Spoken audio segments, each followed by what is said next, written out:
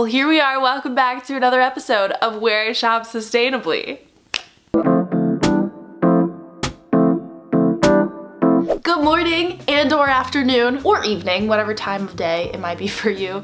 Welcome back to my channel guys. My name is Christie. If you are new here, I make videos about living a more well and intentional life. As I mentioned in my last video, I've been doing a little bit of decluttering lately and kind of just trying to get as present and kind of bringing minimalism back into my life a little bit. Ever since I started moving, I've kind of like gone through all of my clothes. I have two big bags of clothing to sell online right now. And last weekend, I finally officially went back to my parents' house and moved all of my stuff out. Last remnants of all the things that I had there. So I'm officially moved out.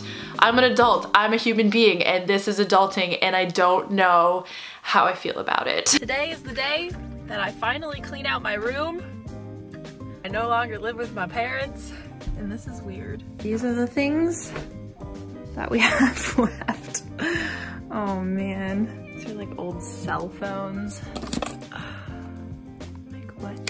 I thought that I could share with you guys a few of the things that I've been decluttering and things that I'm going to be posting online, as well as sharing all of my tips to for your gateway of selling things online and being able to declutter your own things and giving your things a second life. Because I personally am such a proponent for unless you have a really good charitable organization in your town that is worth donating to, a lot of things that end up in most conventional thrift stores end up in landfill essentially at the end of their life. I think there are several ways to give your clothing a second life or a longer lifespan and one of those many ways is by directly selling things to other people which then cuts the risk of it ending up in landfill which obviously we like because we love our planet and we want to take care of her and we love Mama Earth very much, right? Right? Right? So, Closet. Here's my closet. A lot of things have been cleared out of here recently and I have two big Ikea bags like I just said of things that I'm going to be selling online and coincidentally Poshmark reached out to me and asked if I'd be interested in having them sponsoring a video and me trying out their wonderful website. So of course I was super stoked about that because I'm an avid consumer of Poshmark but I've never actually sold on it. I think there are so many wonderful secondhand platforms online and only one of them I've ever sold through. So what I'm gonna do is I think I'm gonna experiment with the different platforms online and try and testing a few pieces here and there. I'm super pumped to try Poshmark because I've bought from Poshmark several times, but I've never actually sold on it. So I do use it, but I haven't used it in this way yet. And I'm super pumped to try it out yeah, I definitely think there are so many different online platforms for you to sell and just finding the one that works for you is so important. So I definitely encourage you to try the same. So if you wanna set up your own closet on Poshmark, you can use the link in the description box. And I'll also leave the link to my own Poshmark closet in the description box below because I'm gonna show you guys a few of the pieces that I have decluttered and I'm gonna post on there. I have these vintage Tommy Hilfiger jeans that I really like. They're like these beautiful mom jeans. I actually thrifted these like a year ago, but they were a little bit big on me when I bought them and they just don't fit me. But they're these super cute Tommy Hilfiger jeans and they even have the little like Tommy logo on the butt and on the and on the little patch at the top. Definitely my favorite pair of mom jeans that I've ever owned and I'm really sad to let them go, but I think they're beautiful. My color, this super cute, beautiful yellow v-neck that I also love very much, but I just own too many yellow things at this point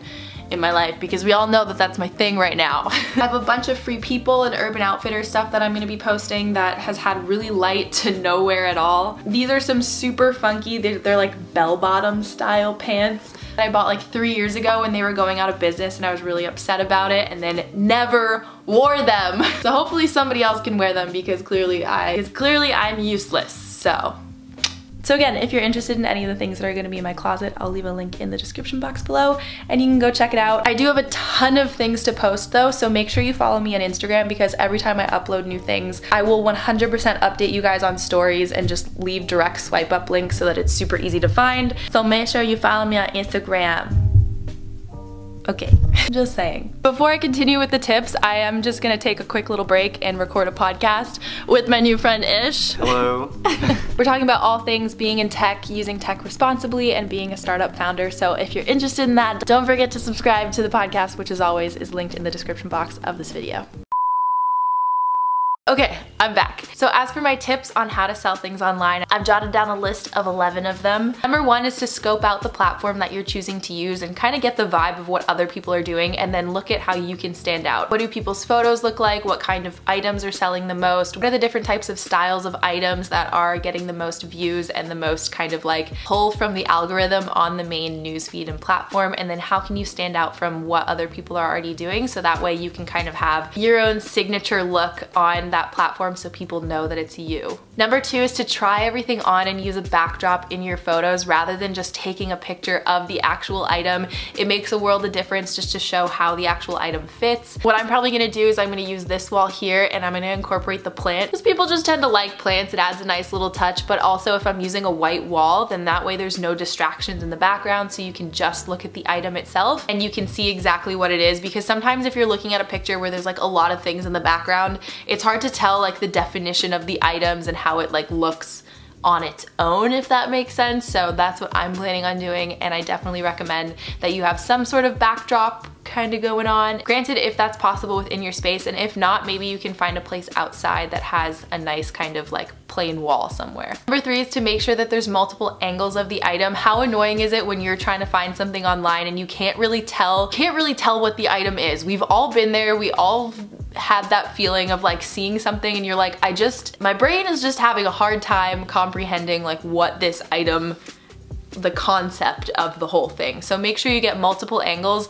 and that goes into my next one which is make sure that the colors in your photo are pretty much accurate to what they look like in real life and make sure that you're not getting any like super exposed highlights and everything is washed out. Especially with black and white items, sometimes just the way that the camera captures them, you can't really tell like what the definition is, what that material is. Just make sure that it's like what you're getting in real life is what you see on camera as best as you can. I mean, obviously sometimes cameras just they're not the same as these wonderful things that nature put into our heads. Just try your best to go for it. Number five is to make sure that you're using keywords in your description and also make sure that you're mentioning any sort of brands that the item looks like. This helps so much when people are searching for any specific items. I know that a lot of people as well will also put at some point in their description, whether it's like the end of the item, they'll mention like say you get a shirt and it looks like it could be from Free People, then you could include that in the end of the description. Obviously mark what the actual brand is, but if you write those keywords free people in there, that when people who like the vibe of free people things are looking for free people, your item will also pop up, which also happens to fall within their like kind of style. I think things like this are super helpful because when I'm personally looking for secondhand items online, that's how I start. I usually just search the brands that I know I like their style of and then random things pop up into the abyss. And if I like them, I like them. And if I don't,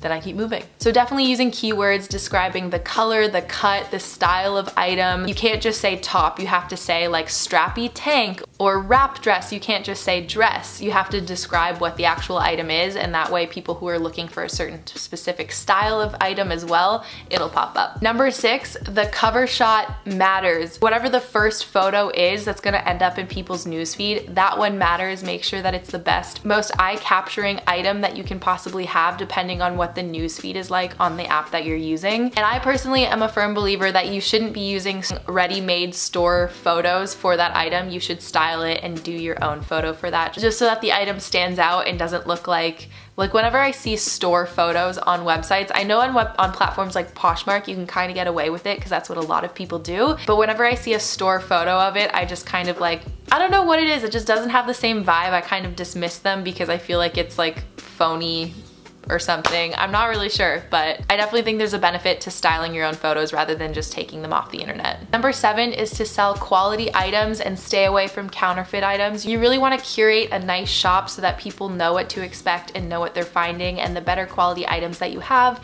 the more likely they are to come back. And also you just don't wanna sell counterfeit stuff because it's illegal. So Number eight is to add items regularly. This will bring people back and kind of give some action to your shop. That way you have regular traffic and it's not like it's just a, and it's not just like a one-time thing or a biannual thing. If you really space the time out in between each time that you're posting, you're gonna have to work all over again to garner an audience. So posting regularly is key. Number nine, since we're all about sustainability and we want to encourage sustainable purchasing practices. I recommend using secondhand shipping materials if possible. If you live in an apartment building, you'd be surprised at what kind of cardboard boxes and things would be in your recycling bins outside of your building. Maybe you live in a family where people are frequently shopping on Amazon or maybe you shop online sometimes and you have extra boxes and things to use.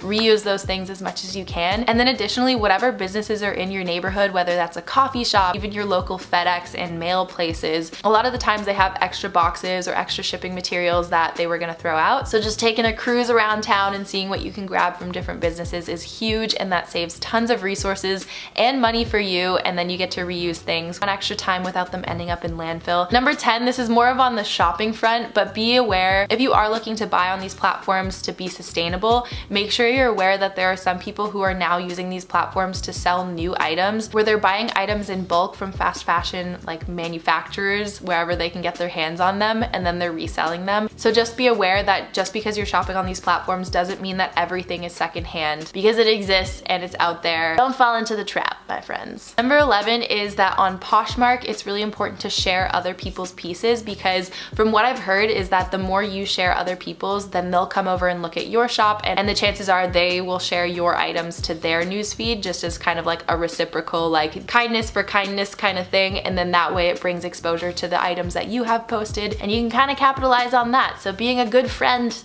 really helps other people and it might help you in return and I think it's important to share pieces that you like as well because that kind of will like bring in people that have a similar style to the items that you're going to be selling and kind of like creates this foster environment for other people who are interested in a similar style. Before this video is over don't forget that you can support this ethical and sustainable channel over at patreon.com slash Christina. If you can't afford to be over on Patreon then that's totally cool. Make sure you share this video with a friend. Don't forget to hit subscribe, follow my Instagram, subscribe to my podcast which which is linked in the description box below and goes out most Mondays.